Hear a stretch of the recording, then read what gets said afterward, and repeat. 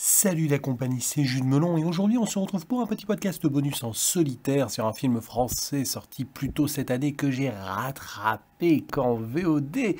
Et il s'agit de L'Astronaute, deuxième long métrage de Nicolas Giraud, avec au casting lui-même dans le rôle principal, à ses côtés les expérimentés Mathieu Kassovitz et Hélène Vincent, sans oublier Bruno Locher qui avait débuté à l'époque dans la troupe comique Les Deschiens, situant aussi à un moment dans l'intrigue la présence de Hippolyte Girardot ainsi que de Jérémy Renier à la fin, avec une petite apparition aussi vers le début, milieu du film de Féodor Atkin, qui est connu donc en tant que comédien de doublage par exemple, mais pas que. Il s'agit de l'histoire d'un ingénieur en aéronautique nommé Jim Deforge et interprété par le metteur en scène et acteur principal du film, qui a un projet secret, un véritable rêve d'enfance qu'il veut réaliser, totalement fou, c'est-à-dire construire sa propre fusée, comme ça en autodidacte, et donc effectuer ensuite le premier vol spatial habité en amateur dans l'histoire.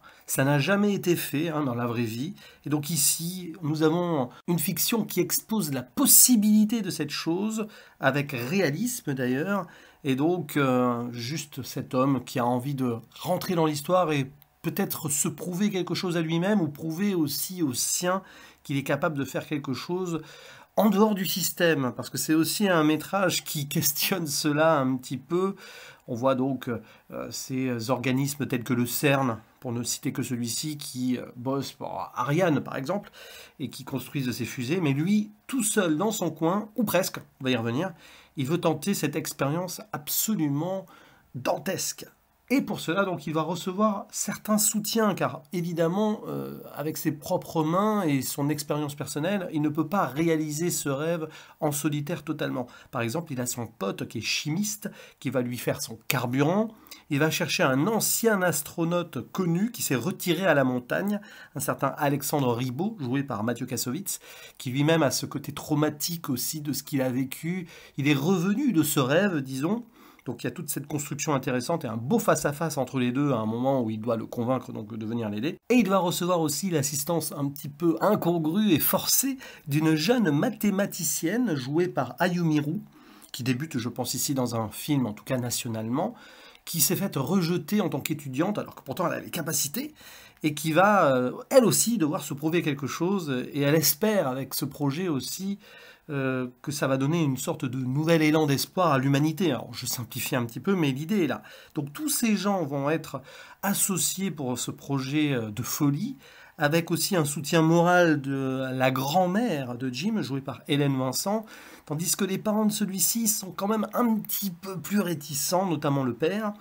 Et euh, voilà, il va se passer plein de petites choses hein, dans le métrage que je ne vais pas développer ici. Il va y avoir des soutiens un petit peu inattendus aussi.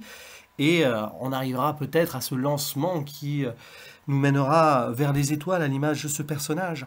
Et si je parle de ce film, que j'ai rattrapé donc comme ça en mode estival, en famille, c'est qu'il m'a beaucoup plu. Sinon, évidemment, je ne le mettrai pas en avant ici, et qu'il s'agit de l'un des meilleurs longs métrages français sortis au cinéma en 2023. Et je rage un petit peu de ne pas l'avoir eu, donc distribué près de chez moi à l'époque, parce que c'est une expérience probablement à voir totalement de façon immersion absolue en salle, à l'image d'un Interstellar par exemple, hein, je cite ça au hasard, au Gravity, pour le final, parce que évidemment vous imaginez quand même qu'à un moment on va, tutoyer l'espace, hein, c'est pas un spoiler, je crois que même dans la bande-annonce et dans certaines interviews on le mentionnait, mais c'est pas important la finalité ici. Ce qui est intéressant dans ce film, c'est la construction de ce rêve et la façon dont il va devenir réel petit à petit, avec des dilemmes, des doutes, mais aussi cette force humaine de ce personnage principal qui croit en ses rêves, hein, à l'image de la chanson de Goldman, J'irai au bout de mes rêves, c'est un petit peu cette idée-là,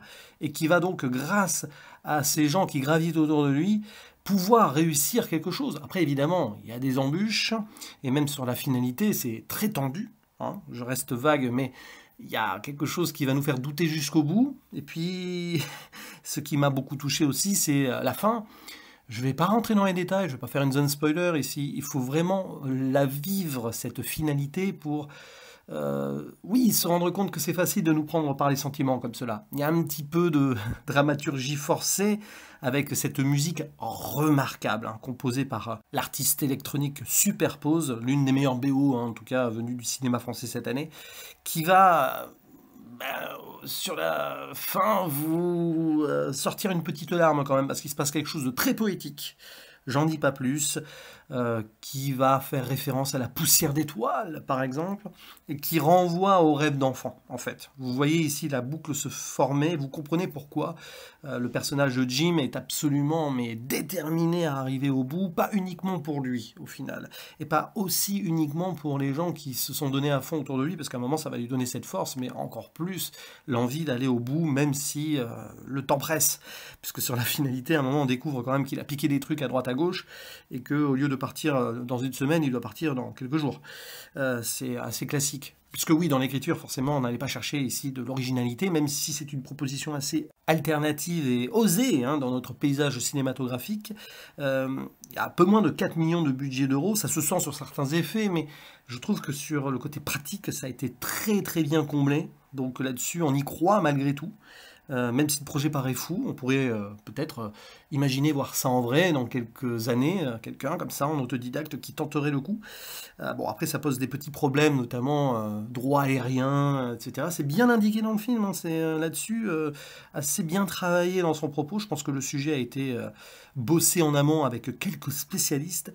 Et voilà, donc c'est un film qu'il faut vraiment vivre avec des très belles performances d'acteurs et d'actrices. Alors Nicolas Giron, on voit que c'est quand même plus dans le côté mise en scène qui s'est donné à fond ici, mais son personnage qui est assez taiseux et ténébreux va s'ouvrir et se euh, laisser porter à l'émotion au fur et à mesure que le film avance, forcément, mais on sent qu'il est tendu et concentré. Mathieu Kassovitz, très très bien aussi dans ce rôle d'ancien astronaute qui en est revenu, donc, hein, comme je le disais, et qui a ce côté traumatisme qui continue à essayer de euh, voir plus haut, mais autrement, hein, connecté à la Terre, donc euh, la montagne.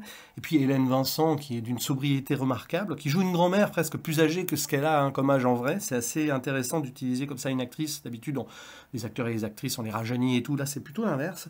Hippolyte Girardot, à un moment aussi, se donne à fond euh, quand son personnage va avoir une petite évolution. Très bon Bruno Locher aussi, hein, qui, euh, qui est très touchant hein, sur certains points. Bref, c'est un film à découvrir euh, d'urgence, même sur le tard, même si c'est pas au cinéma. Mettez-vous dans l'ambiance, laissez-vous porter. L'astronaute, c'est vraiment une belle surprise, et je crois que les retours avaient été assez positifs. Eh bien, je me greffe à ceci, tout simplement. Voilà, c'était un petit podcast de vacances, comme cela, sur cette œuvre que je vous invite à visionner dès que possible. Et il ne me reste plus qu'à vous dire, ben, on se retrouve en commentaire déjà pour en discuter ensemble. C'est important de le mettre en avant, ce film-là. Et à la prochaine. Ciao